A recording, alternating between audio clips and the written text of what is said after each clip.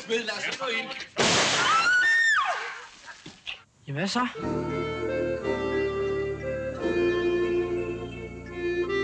Hvad fanden står de her klor for, hvad? De skal altså ikke kalde mig for svin. Jeg har noget galt med knækken. Hvad, skrider du ikke med på noget lige inde i byen? Ej, nu kæft, mand. Vi laver sgu da noget fisk hjemme hos mig med nogle bajer og noget kørve. Hvad skaffer du? Hvad laver du? Jeg tror, den sat sig fast. Hvad hed hun, sagde du? Det er ikke en, du kender alligevel.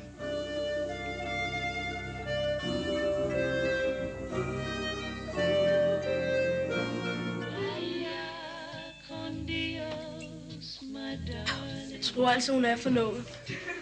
Åh oh, ja, det er hun sikkert. Det er også lige meget.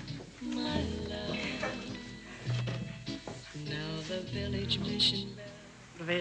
Jeg synes, du smager pæn. Jeg synes, du er skide sød. Pyt med det, ved du hvad? Der er så mange andre piger. Det skal du slet ikke tænke på. Så ikke bare det. Hele ugen alene. Uh,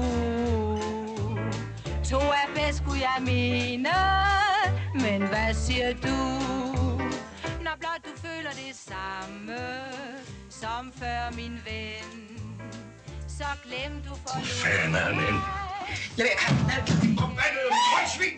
Det ligner en hoverkasse i havsnød. Det vil gøre meget bedre.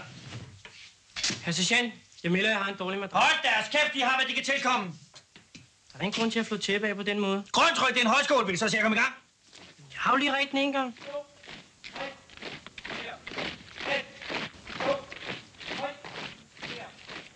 Kan de andet slå de her klo?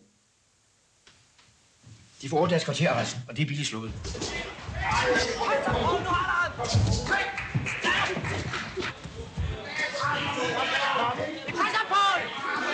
De skulle ikke have brug for en rask ung mand til manuelt arbejde. Kom så, kom så, kom så!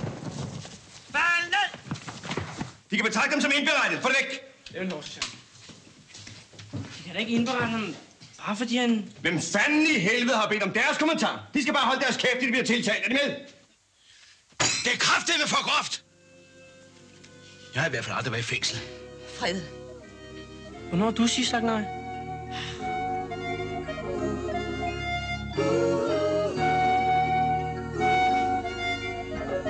Hey, Johnny!